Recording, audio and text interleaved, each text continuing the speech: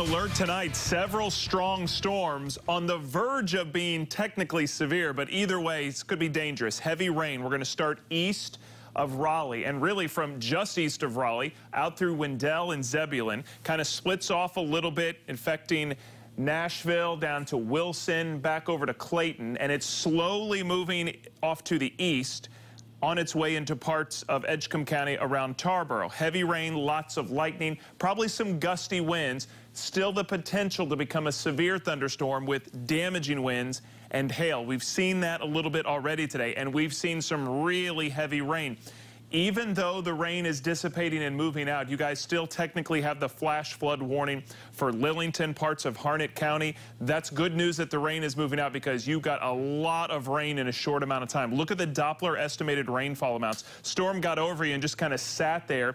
That little red, that bullseye is more than four inches, and a lot of this came in about two hours. So probably some isolated flooding please be careful in and around that area. It's not the only thing going on. We've got another cluster of storms up around Durham through Bahama and Durham County. They get a little stronger with some thunder and lightning in Person County, and that's headed for you guys in Roxboro. So heads up there. And last but not least, you guys down in Robbins, northern parts of Moore County, some storms there. And then there's more just to the west. Very powerful storms there headed in your direction.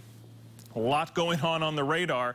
The one piece of good news I have with you, the first week of August, and I get to show you a temperature map that looks like this. We'll take it in the 70s.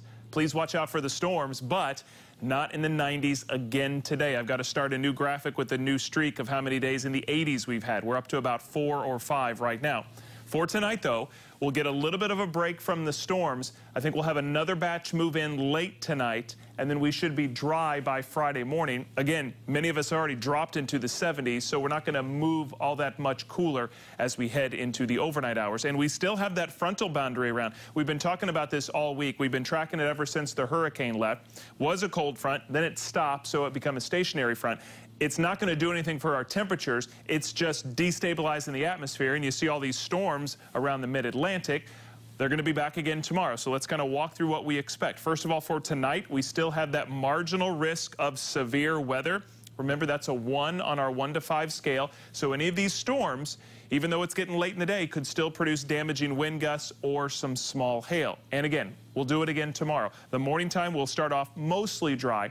Can't rule out an isolated rain shower early on. Then most of the morning will be dry and we'll keep it that way through lunchtime. We get into the heating again tomorrow, which we're not expecting to be into the 90s again. So it's going to be hot, but not excessively hot. And then 3 o'clock, a few showers and thunderstorms start to bubble up. More so toward dinner time and the early evening hours. Even late tomorrow night, we'll keep a few scattered showers and storms around. So it's not a washout all day.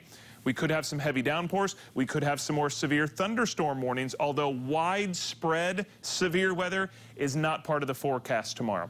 Kind of like today, that's what we got tomorrow. Upper 80s, good 50% chance of scattered showers and storms, mainly the second half of the day. Then that front that's been instigating these showers and storms, that's going to dissipate over the weekend and so will our rain chances. Those go down to about 20% Saturday and Sunday, and our temperatures come up to around 90 degrees. So our 80 degree streak is going to end shortly. We'll keep it mostly dry, mostly hot Monday and Tuesday. And as I step out of the way and we look at your exclusive 10-day forecast, all of next week on the 10-day, you can see a little better rain chance the second half of next week, and another streak of temperatures in the upper 80s starts on Thursday.